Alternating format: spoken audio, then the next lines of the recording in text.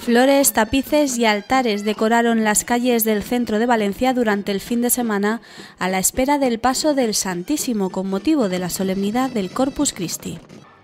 La festividad comenzó el domingo con la celebración de una misa de pontifical presidida por el cardenal arzobispo Antonio Cañizares en la catedral una jornada señalada también para los campaneros del aseo, ya que es la única del año, salvo nombramiento de nuevo papa o arzobispo, en la que se voltean a mano simultáneamente las once campanas de la Torre del Miguelete. Durante su homilía, el purpurado pidió mayor presencia católica en la vida pública ante el ataque constante a la libertad religiosa. La fiesta de hoy es una confesión pública de la fe.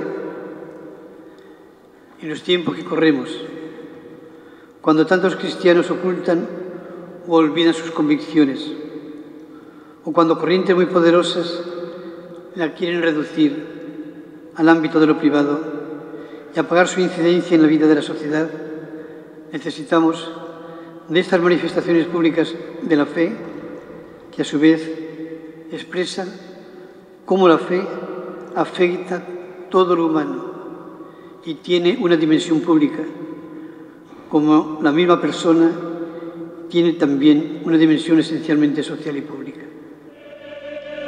La Eucaristía estuvo concelebrada por el obispo auxiliar de Valencia, Monseñor Esteban Escudero, y el obispo emérito de Mondoñedo Ferrol, Monseñor José Gea.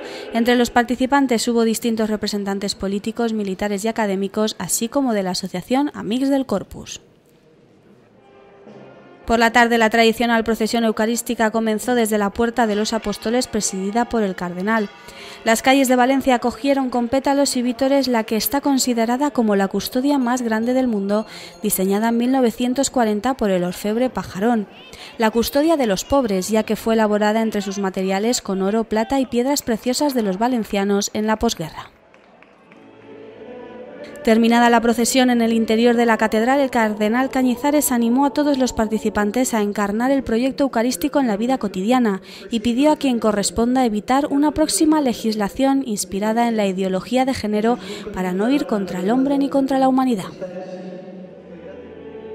La celebración de la solemnidad litúrgica del Corpus Christi en Valencia se remonta al siglo XIII, aunque la procesión eucarística fue introducida años después por el obispo Hugo de Fenollet.